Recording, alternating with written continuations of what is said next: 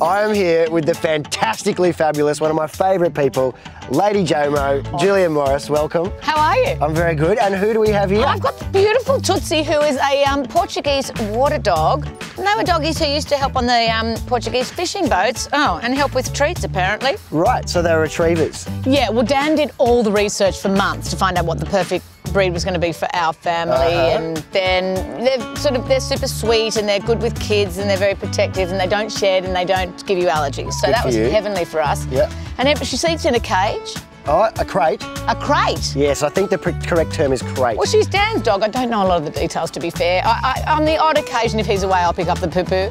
But she likes to go from room to room each morning and um, give us all a little kiss on the lips. Oh, that's very nice. when nice. she gets out the crate. Oh, that's beautiful. She's Yeah. a friendly dog. When she arrived with us, she was very, very tiny. And I had said, well, how much bigger is she going to get? Dan's like, she's not going to get much bigger. I'm like, okay. so I took a photo of her to Dr. Chris. I said, Dr. Chris, how much bigger is this dog going to get? He's like, baby, I've got some bad news for you. She's going to be taller than you soon.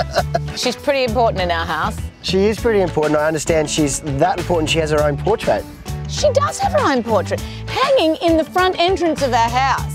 There's no pictures hanging of me So- in the front of the house. She is the lady of Lady Jomo's lair. Yeah, well, I've, we've got two daughters, and um, I reckon that probably in the order would be Tootsie, and then probably the girls, and then definitely maybe me, maybe.